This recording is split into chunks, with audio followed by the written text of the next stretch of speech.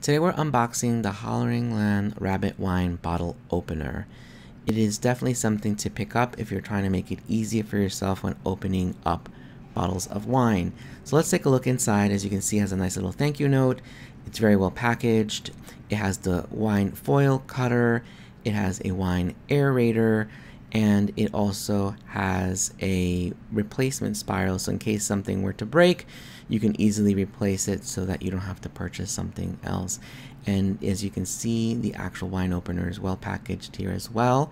So it's securely packaged and it has a strong material. You can unscrew this little protector that protects the actual spiral. And as you can see here it's secured as well so that it doesn't open up. So you're able to then actually access and uncork your wine. And so it's a simple rabbit, straightforward, very easy to use, so you don't have to exert a lot of energy when you're um, opening up your wine bottle.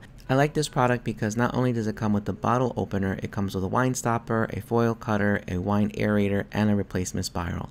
Hopefully this is helpful as you're making a decision in which type of wine bottle opener you're looking to buy.